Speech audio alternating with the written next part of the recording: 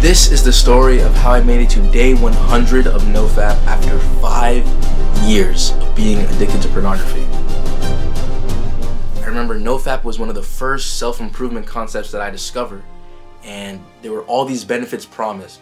Like after a week, like you feel better about yourself and you have like an aura around you, you'd be happier, girls would start to like you and stuff like that. There was all these crazy benefits to it. And I was so excited to, to, to try it. And I remember I would go for a week or two weeks at a time and then I would just keep relapsing, keep relapsing. And eventually I just realized like I can't do this. I can't I can't quit this addiction and I'm just gonna have to try something else. So that's what I did. I just I gave up on NoFap and I tried other self-improvement things like reading books and stuff like that.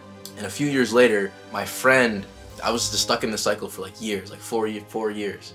And my friend recommended Hamza, the self-improvement YouTuber, to me. And his philosophy on NoFap was different than anything I, I had heard before. He said that NoFap isn't the cause of your poor mental health, but rather it is an effect of it. The reason why you keep relapsing, the reason why you keep using pornography is because you're not taking care of yourself.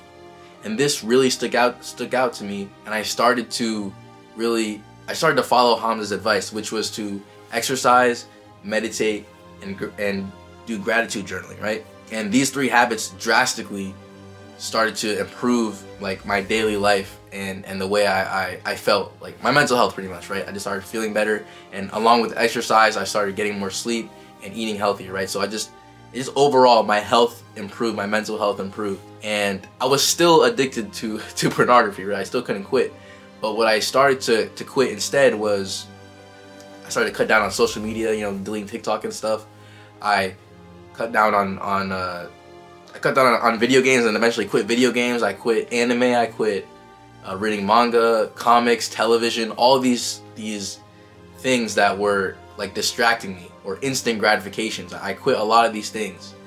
And finally, I was starting to make progress towards my goals. I was building more muscle and things like that because I, I had improved my mental health. But for some reason, I was still still stuck in uh, the loop of pornography, right? And I remember I, I just couldn't figure out like how to do how to how to quit. So I eventually read a book on on the subject on quitting pornography called Burgeon, and this a, it's a really good, really amazing book, and with a lot of great insights. But the the thing that stood out to me the most was a chart and it said the reason why you relapsed like even even the reason why you play video games and, and watch social media or television the reason why you're using pornography is because you crave pleasure. And the solution to this is to pursue peace in your life. Find peace in your life. And at first, that didn't really make any sense to me. But right now, I'm, I'm thinking that peace means you're content or you're, you're, you're present. You're here in the now and you're not feeling stressed. Because what is like one of the biggest reasons that people relapse? People always say, oh, I was bored. I didn't have anything to do. They're not at peace. They were bored. They didn't have anything to do, and then now they're they're stressed out, and now uh, they they seek to relieve that stress through relapsing to pornography or through playing video games or something like that. People don't know how to just like exist and, and, and, and be content, be happy, right? I was trying to figure out like, what is this? What does this even mean? And a best way I can describe it is valuing instant gratification versus valuing delayed gratification. When you value instant gratification, which is pleasure. What happens is you're happy, you say your happiness is like this, right? Like a chart, right? When you relapse to pornography, right? Your happiness goes up and then it goes down, but then it goes down even worse because you now you feel shameful. You know, you know that's not good for you, right? Same thing if you eat junk food, like you're like this, it tastes good for a little while, but now because you ate junk food, your life actually kind of got worse. You're a little bit more unhealthy, right? And that's the same thing with video games. You waste time, social media, and waste time, rot your brain, whatever, right? But delayed gratification is like this. It actually kind of hurts for a little while, but when you do the actions, like say, let's say it's working out, like working out is painful. You gotta go to the gym, do all the hard work, all that stuff. Homework, you gotta go study, put in that mental effort, right? But what happens is when you put in that effort, when you endure that pain, your happiness actually increases after. Because now you have good grades and you're accomplished or you're starting to build more muscle and you're healthier. All, the, all these things like they it compounds right? So your happiness is actually increasing. And what actually happens is over time your your regular happiness is, is actually up here. Because you put in so much work in the past to improve your life that now you're benefiting from the results and now your life is up here. Versus people who people who are like me, right? Where they're just indulging in video games and pornography. Their life's down here because they're not taking a lot of action, right? So but they want to feel good, so they indulge in those instant gratifications so they can feel like they're up there. And then it just goes right back down and, and then they they just wasted time and then they're in the same spot. But when you actually start pursuing that delayed gratification, you can actually be here all the time. You can always feel good. And that was the biggest realization for me. I realized that all I had to do to, to finally quit pornography is to value the long-term benefit. Is to understand that by relapsing now, I'm actually not making progress towards my goals. I'm actually just making my life worse because because it's not good for me. Or same thing with the playing video games, same things with scrolling on social media and things like that. I realized like those things aren't good for me. So by indulging in that now, even though it will feel good, sure, it actually just makes my life worse. So when I came to college, I just wrote down that I'm giving up pornography and I'm just gonna I'm gonna finally like be like finally rid myself of this addiction and that's exactly what happened. I came to, to college and it's been a hundred days and I haven't I have not relapsed since. And it was funny because uh, No Nut November, which is like the annual challenge where men try to go a month without uh, without fapping, right? That was for, that was actually the day I, I hit day 90 and day 90 is is like the traditional no fap timeline challenge. Like you want to get to day 90. So I hit day 90 when No Nut November ended, and that was pretty cool. But just looking back on, on these past 100 days, I realized that the problem is still has still not gone away. You know, it's it's it's a problem that's even deeper than just watching pornography. Because obviously, pornography has has is really bad for you. Like it, it messes with your brain and stuff like that. But the whole concept of of instant and delayed gratification, right? I was using pornography as a way to escape my the, my life, which I haven't been like working hard and So now I'm stressed out about things. I'm not taking care of myself as well. So like my mental health was pretty pretty bad.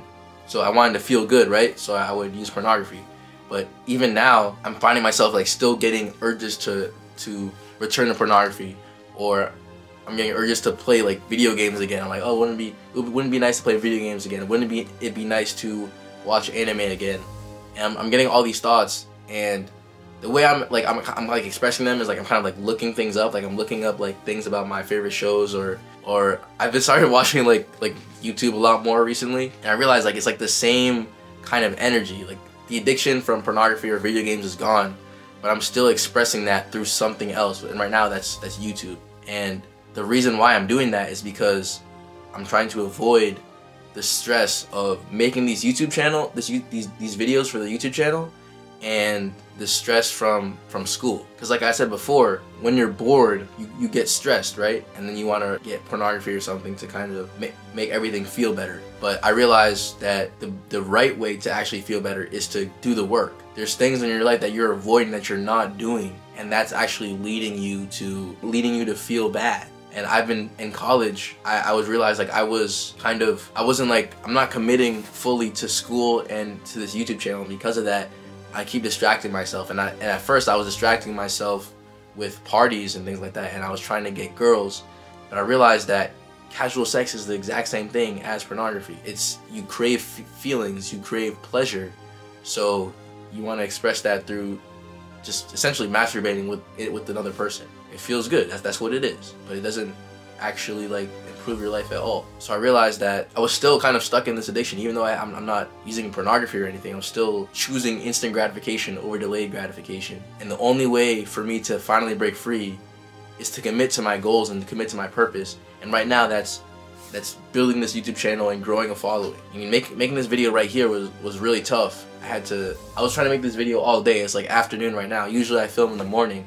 I sat down to film in the morning and I was just I, I, got stressed. I was I was getting embarrassed about the video. I was thinking that like all, all sorts of things. I was like, you know, I I just won't do it today. I just I was I was about to not film this video, but I realized like this is the path. This is what I have to do. This is this is my mission, my my job, my purpose right now. And if I if I didn't have this to do, then I would just be scrolling on my phone or on watching YouTube or something. And that's exactly what I was doing when I was supposed to be filming this video. I sat down to film, but I was distracting myself on my phone, and I realized that's what that is. This whole thing of, of NoFap, it's like the problem is bigger than just masturbating. There's a reason why you masturbate. There's a reason why you relapse, and that's because you're trying to escape from the world that you're in, and the solution is to improve the world that you're in, and work towards a better world.